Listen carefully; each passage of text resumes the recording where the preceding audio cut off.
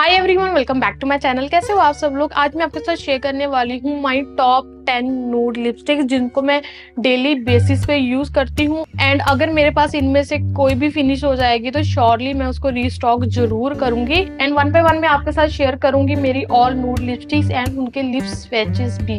And the first lipstick is this good vibes liquid matte lipstick in the shade brick nude इसमें जो मेरे पास shade है, वो ब्रिक नूड है और इसी शेड को मैंने अभी करंट अपने लिप्स पे वेयर भी किया हुआ है। और मैं आपको इसका हैंड स्वेच भी दिखा देती हूँ। एक बहुत सुंदर सा वार्म डार्क पिंक शेड है जो मीडियम टू डस्की स्किन वालों को भी बहुत अच्छे से सूट करेगा।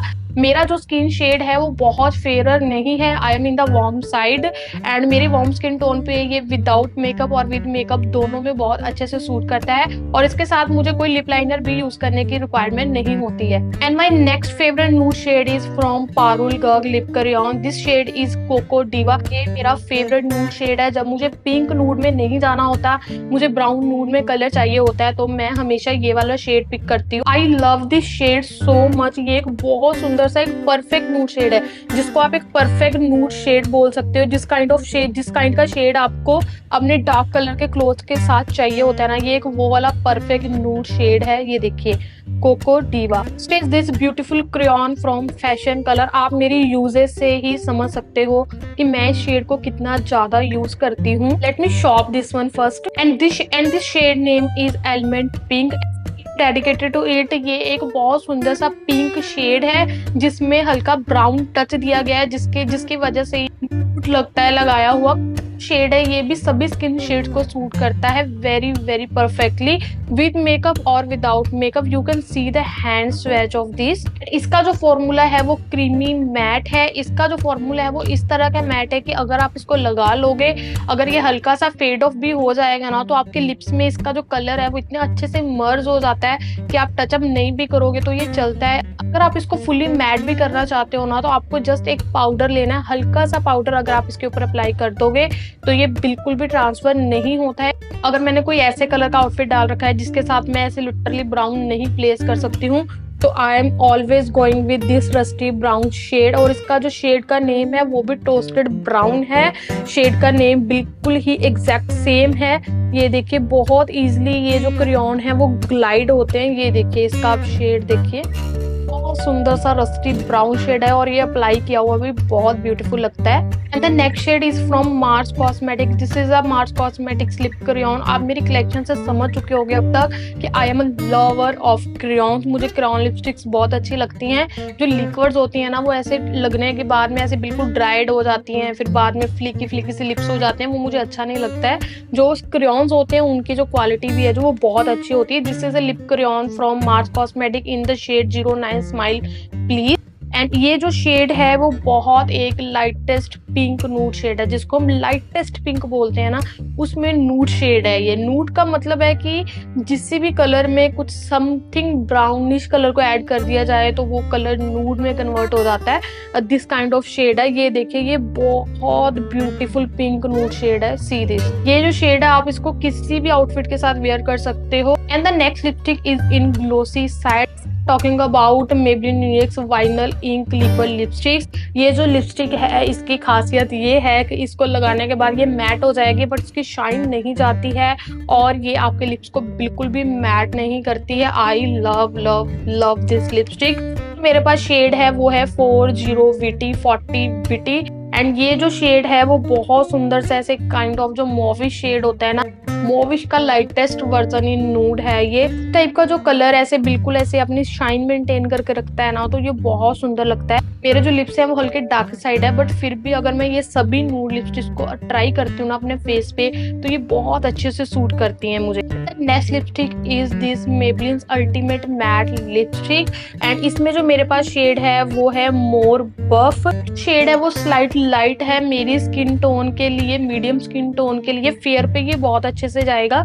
Perfect for fairs but duskier skin tone के लिए सूट नहीं करेगा। ये एक लाइटेस्ट पीची नूड शेड है, जिसको अगर मैं लिप लाइनर के साथ में अप्लाई करती हूँ ना तो ये लगाया हुआ बहुत अच्छा लगता है। जैसे आपको नो मेकअप मेकअप लुक करनी हो ना तो आप ये बाय कर लीजिए। इस लिपस्टिक को आप अप्लाई करोगे ना तो बिल्कुल भी पता ही नहीं चलेगा कि आपने कोई लिपस्टिक लगा रखी है।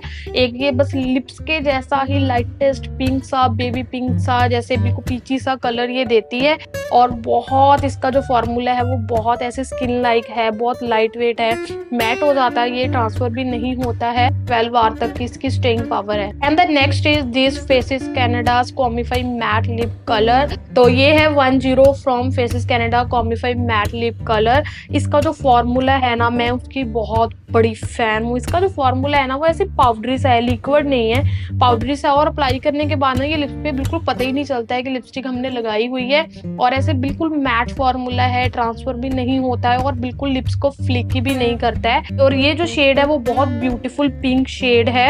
शेड को मैं ऑलवेज अपने लिप लाइनर के साथ में यूज़ करती हूँ। See the beautiful pink how beautiful it is and ये जो शेड है, मेरी स्किन को थोड़ा सा वॉश ऑफ़ करता है। बट अगर मैं इसके साथ लिप लाइनर अप्लाई कर लेती हूँ ना तो इसके जैसा पिंक शेड ना स्किन पे आज तक कोई अच्छा नहीं लगा है। And the next is this faces, canada and this is Faces Canada intense matte lips plus primer.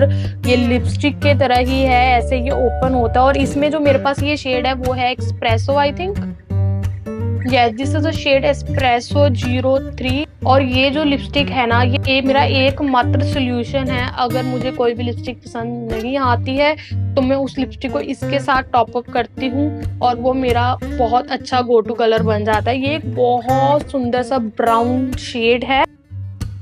This is a very very very beautiful kind of brown shade बहुत ब्यूटीफुल लगता है मुझे ये शेड इसमें ना लिटल बिट ऑफ़ जैसे warm undertone है इस कलर की. इसलिए ये मेरी स्किन पे बहुत अच्छे से सूट करता है.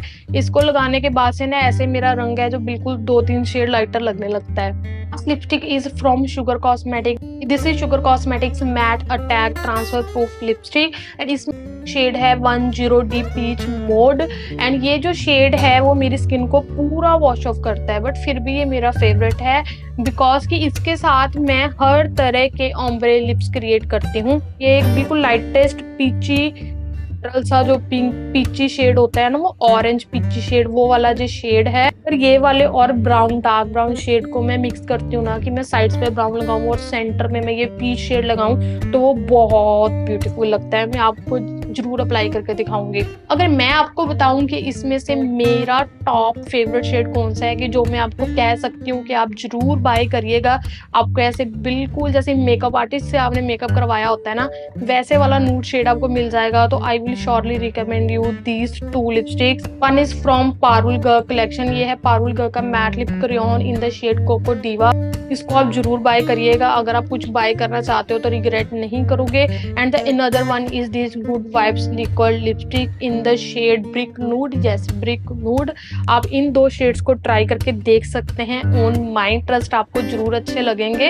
अगर इन लिपस्टिक में आपको कुछ ऐसे चाहिए कि आपको ये शेड अच्छे लगे हैं बट आपको इसके प्राइजेस कम चाहिए, आपको इनका ड्यूब चाहिए तो फिर भी आप मुझे कमेंट करके ज़रूर बताइएगा। मेरे पास इन सभी शेड्स में ड्यूब्स हैं जो हंड्रेड टू टू हंड्रेड की रेंज में वेरी करते हैं। काफ़ी अफोर्डेबल हैं बट इनकी क्वालिटी मुझे अच्छी लगती है, इसलिए मैं इनको यूज़ करती हूँ। कैसी लगी आपको ये वीडियो मुझे कॉमेंट डाउन करके ज़रूर बताइएगा। मिलते मैं आपको अपनी नेक्स्ट वीडियो में। Till then take care bye bye